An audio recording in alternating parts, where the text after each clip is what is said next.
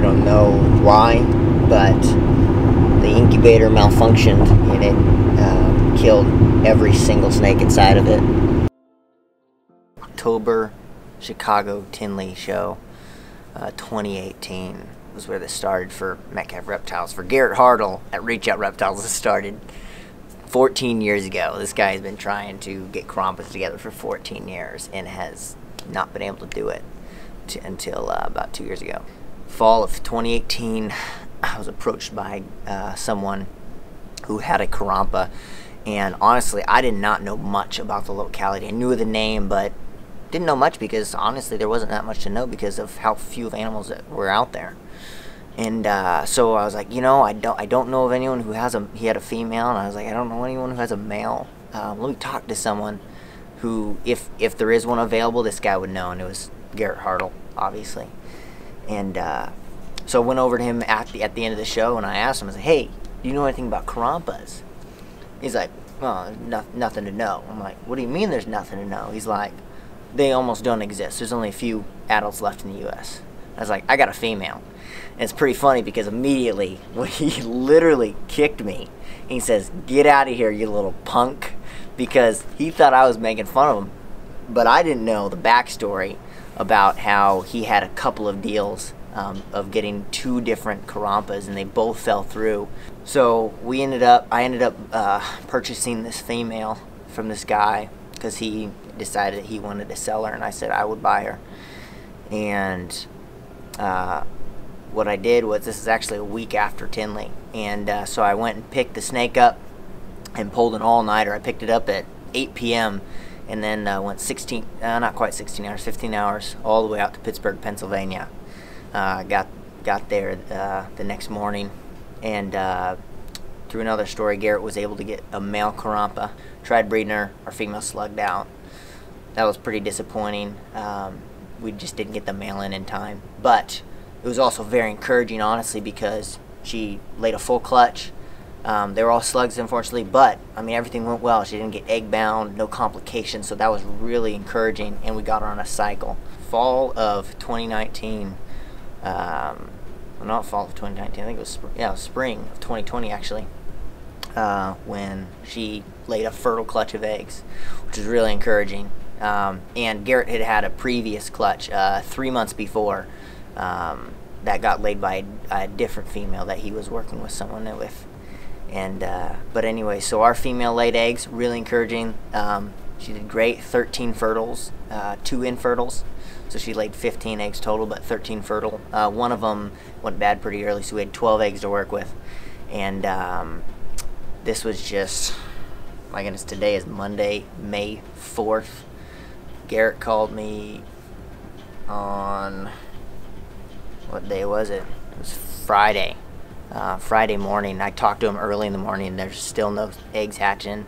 So, uh, and I ended up spending some time in prayer that morning just over the animals. And he called me about 30 minutes later after I was praying. And he goes, Hey, man, they're hatching. And it was so exciting. I was so excited. I'm like, Yes, we finally did it. We're hatching Karompas.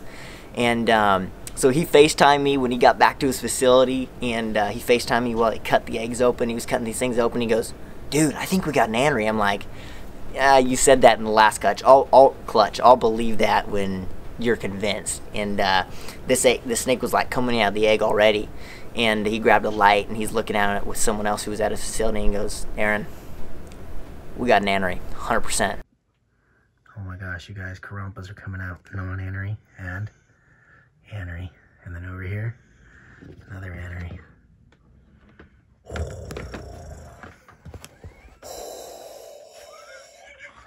Right there was like, wow, how blessed is that? That's so awesome.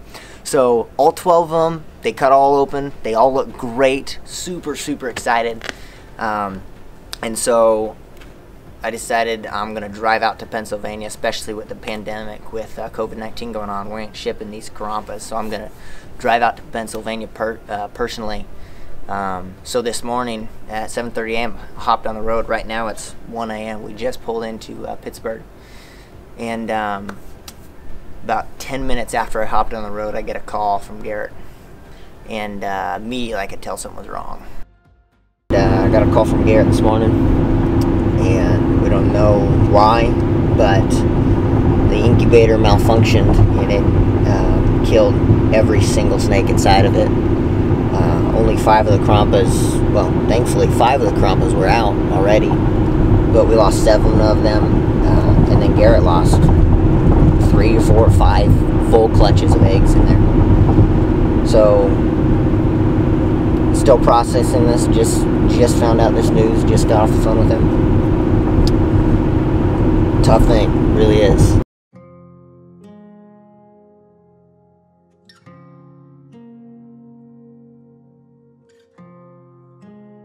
He walked across his room, flipped his camera around, and uh, and there was a box open in the incubator, and there was a pile of dead snakes. And I went, "Oh, those are Karompas." And uh, and he and he was like, "Yep, those are Karompas."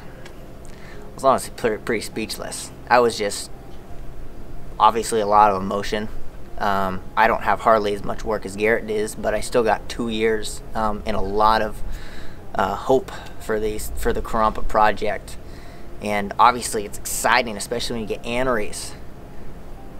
And then now all of a sudden, I just know a bunch of our Karompas are dead. Sunday morning, I mean, I just when you're on baby watch, you just wake up early, go down and check everything all the time. Yeah. So I I just came down here. I was like, oh my gosh. And so I ran downstairs and seeing the Karompas just all piled on top of each other. We brought them into this world and here we just let them die. That that's the hardest part. Like none of these snakes would be here, you know, in the wild or anything because we're the ones doing it. Yeah. It was just a perfect storm because we were moving, setting up a new, you know, incubator area, and uh, normally the the heaters control themselves, but I, I run them through a second thermostat for redundancy, and that was moved to the new one. And I was just dialing the, in the temperatures, and literally like after those hatched, right behind them we had the Reach Streams line, pure Kalatoas, which was for baby Lars and Desiree. Yeah, and that's what's so hard. breeding I did with Forrest Fanning. We did the breeding when Forrest was still with us. I'm more of like a big picture guy, you know, like, oh gosh. You know, I, I definitely care about each individual animal as an animal. But it's like, man, I was going to establish this bloodline and do this thing with the Fannings, which we can try again next year. Um, you know, the Karompas were like, oh, you know, they're so rare. Like, they were hatched, they were ready. I could have, like, pulled them out of the eggs the night before and they'd have been fine. That's but what too. I we don't do that. You just let them come out on their yeah, own and I wish we somehow do it naturally. And Just took the whole bin and put it somewhere else that was warm. Something I don't know. Like you just go back and think, I wish I did this. Or it I was wish I did easily that," preventable. It's just unexpected. Um, and honestly, uh, it hurts and, and it's difficult, but I was much more scared for Garrett because he lost four other Superdwarf clutches in that incubator, all of them gone. And, uh, and that's just a big hit. That's a big hit for him. And so we were just pretty quiet, um, trying to process some things. So we ended up just praying for for a little bit, and then uh, we just both needed some time to just be quiet and process things. But um, spent the morning honestly, just looking over the situation and uh, really being able to see how blessed we are and really get an attitude of gratitude towards this. I mean, I, I honestly don't feel like I deserve to be in the Karompa project. This this female was almost handed to me, basically. Um, just how things worked out, it, it was just a blessing. And uh, look, we bred a Karompa this year and we hatched babies and we got five of them. That's a huge success, you know. Yeah, we could have had 12, but we have five, which is really encouraging. Um, and so, really, I don't have anything to complain about. I'm really excited. Um, obviously, there's going to be some lessons learned, and I think this is going to take us farther than we would have had if these animals all survived, you know, because from these situations we learn a lot.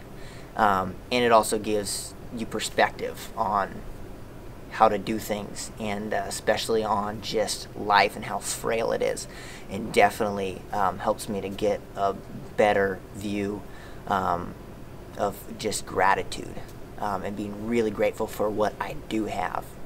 So that's where we're at now. Um, I'm gonna get a few hours of sleep and uh, go see Garrett in the morning, and we are gonna do one day at a time, and we're excited.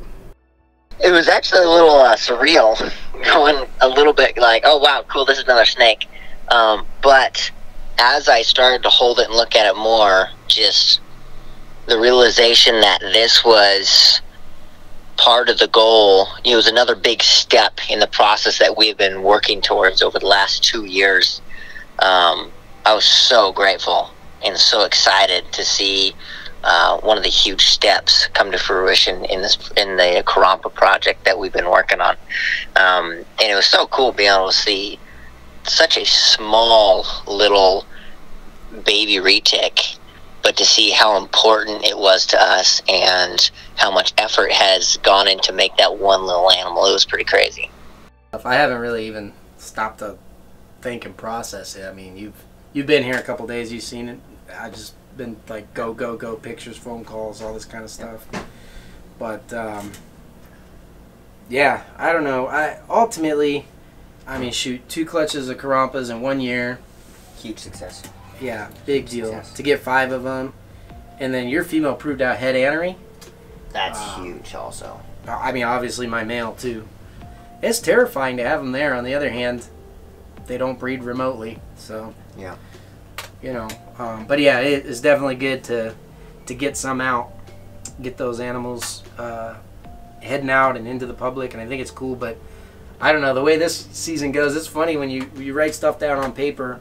I mean, the Karompas. It's been it. It was year 14 when I finally hatched some of me attempting to just to get a pair together. Extremely just blessed to be able to, to work with them and everything and I know it's, it's pretty cool to be holding a captive bred Karompa. Finally. 14 years of work, two full clutches of snakes produced, and I have two captive bred females to show for it um, for an entire season's production. So I mean, just how like ridiculously precious those things are. It's a shame that they become popular. You know, it's cool to to bring light to them, but as long as everyone just wants them as pets, you know what I mean, and and there's not really anything going back towards doing something to help the you know establish the population. Um, I was glad that it worked out. You know, I mean, like I, I mean, I got the pairs out to the people that we intended to. We spread those out. I still have a couple animals to show for myself, and uh, no, I, I appreciate your attitude. I mean, it, it's life. Stuff Mhm. goes wrong. I think everybody has stories of, you know what I mean, things they thought they were gonna get, and it's really all about expectations, right? You have Yeah. Those super high expectations, and then they're dashed. But I appreciate your perspective on it, and I am glad that we were able to get you a completely unrelated male to your female, so that now, mm-hmm. even if you're like, no, I hate you now, Garrett, we're not friends anymore. You could just have your female back and still be the Karompas will be okay. You'll have a separate bloodline, you know, and an anery boy, just as mm-hmm. It's the most ridiculous trophy that a Superdwarf breeder and, could ever and have. that's and that's what's crazy is when I put that thing in my hands for the first time, I was like, "Wow, this is so cool. These are pretty." About five minutes later, I was just staring at them, going, "Oh my goodness, guys! This thing is addicting to look at." yeah, I love. Experiencing this newborn Karompa was incredible. They still and- haven't shed dude, yet. Every minute that I handle one of these things, the more you go, "Wow." There's nothing on planet Earth like this. The pattern, the personality.